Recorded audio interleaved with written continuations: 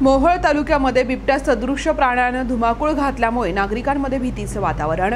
सोलापूर जिल्ह्यातील मोहोळ तालुक्यातील शिरापूर येथे गेल्या चार दिवसात बिबट्या सदृश्य प्राण्यानं दोन वासरांवरती हल्ले केलेत. त्या घटनेची शुक्रवारी रोजी शेतात जाऊन मोहोळचे आमदार यशवंत माने आणि पंचायत समिती सदस्य अजिंक्य राणा पाटील यांनी पाहणी करून योग्य ती कडक उपाययोजना करण्याचे आदेश वन विभागाला दिलेत. यावेळी राष्ट्रवादी काँग्रेसचे मोहोळ तालुका अध्यक्ष प्रकाश चौरे माजी सभापती नागेश साठे शेतकरी भारत अशोक ताकमोगे यांच्यासह वन विभागाचे अधिकारी आणि शेतकरी उपस्थित होते. प्रतिनिधी Prakash Nagare news today twenty four Solapur.